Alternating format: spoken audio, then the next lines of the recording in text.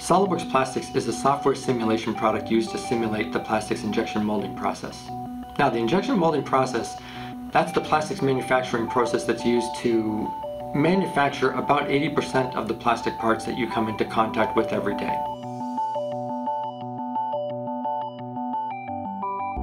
One of the primary reasons that injection molding is used as a manufacturing process is because it's a very high volume manufacturing process. So normally when you're looking at injection molding, you're, you're considering making hundreds of thousands, if not millions of parts per year out of one mold. Uh, injection molding cycle times are relatively fast, anywhere from 3 to 5 seconds on the low end for overall cycle time, up to maybe 40 to 60 seconds um, maximum cycle times.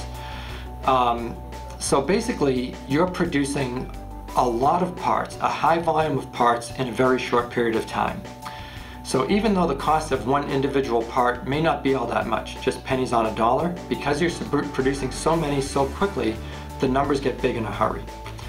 Injection molds can be very expensive. They can cost anywhere from tens of thousands to hundreds of thousands to over a million dollars for one mold. So you can imagine that if you uh, if you, for by using SOLIDWORKS plastic simulation, if you could save just 5% on your overall cycle time, or if you could avoid just one round of costly and time-consuming mold rework, you're going to realize um, uh, an incredibly quick return on investment um, on the investment made in SOLIDWORKS plastic simulation software, and then over time, because the injection molding process is such a high volume manufacturing process, if you're saving, let's say, 5% on cycle time, you know, every time that mold cycles and produces a part or multiple parts from you, uh, your cost savings can also grow uh, very quickly, exponentially in a hurry.